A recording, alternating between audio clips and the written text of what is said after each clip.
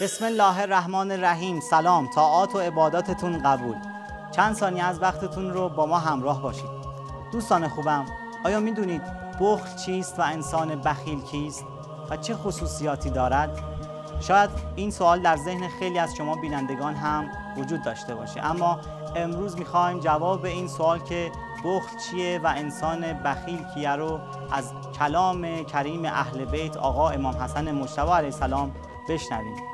از آن حضرت پیرامون بخل سوال شد و ایشان در جواب فرمودند معنای آن چنین است که انسان آنچه را به دیگری کمک و انفاق کند فکر نماید که از دست داده و تلف شده است و آنچه را ذخیره کرده و نگه داشته است خیال کند برایش باقی میماند و موجب شخصیت و شرافت او خواهد یا علی.